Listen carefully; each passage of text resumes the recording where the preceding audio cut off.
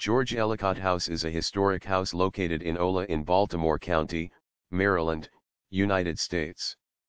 George Ellicott was a son of Andrew Ellicott, one of several brothers that founded Ellicott Mills, Ellicott City. George Ellicott bought swampland after the Colonial War now known as the Inner Harbor of Baltimore.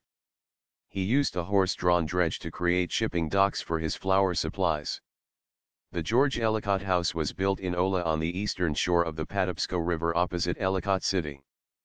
In 1972 the house was flooded by Hurricane Agnes and his brother Jonathan's neighboring house was destroyed. In 1983 the Maryland General Assembly contributed $135,000 toward the $1 million expense of moving the house to higher ground on the other side of the street it resided on. The move was facilitated by a partnership between Historic Ellicott City Incorporated, James A.